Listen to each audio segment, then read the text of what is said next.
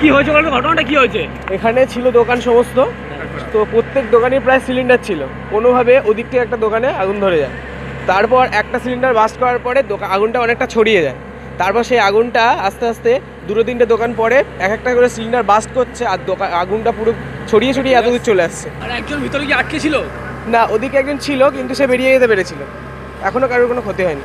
আগুন লাগার কারণ কি হবে জানতে পেরেছ কোনো? না সেরকমভাবে কিছু জানা যায়নি। আপনার নাম? আমার নাম পলাশ মণ্ডল।